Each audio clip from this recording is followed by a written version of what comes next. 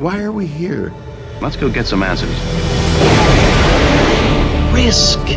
Risk is our business. Everything's risky, but there's something beautiful about that.